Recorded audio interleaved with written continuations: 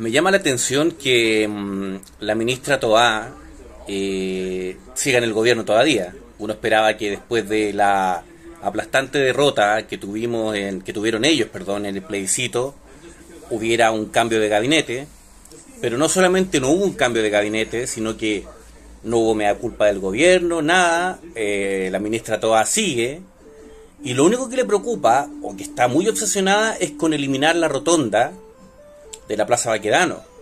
Quiere terminar con la rotonda, con la rotonda de la Plaza Baquedano. Yo le aseguro, primero que todo, que la mayoría de la gente no está de acuerdo, número uno.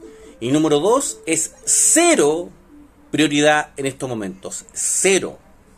Cero. El plan del gobierno, el famoso plan eh, Calle Comuna sin Violencia, eh, no ha funcionado. Siguen matando gente, siguen apareciendo muertos en las calles, en las plazas, asesinatos todos los días, sigue la violencia contra carabineros.